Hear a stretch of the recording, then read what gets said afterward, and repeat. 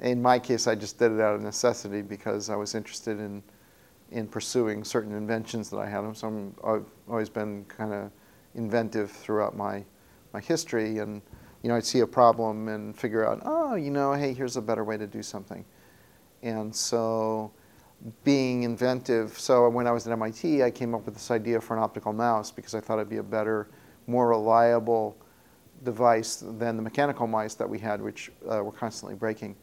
And so I uh, designed and then built uh, a, a, um, a an optical mouse and did all the electronics and all the software uh, for it. And uh, so that was, and then I found that, okay, people like the idea, uh, but I couldn't interest a company to build it. So I ended up, when I left school, ended up creating a company to, uh, to do that. Did you have to go out and raise money? Well, I had money saved. I had uh, $40,000 that I had just saved over the years. And so I used that to, to fund, fund the company. Didn't realize that that doesn't go very far, you know.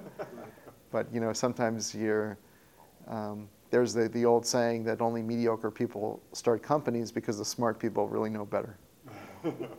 um, I grew up here, right, so foreign, California was not foreign to me.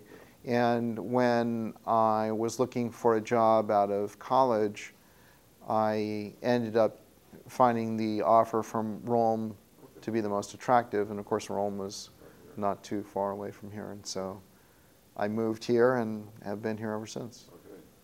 What happened with Mouse?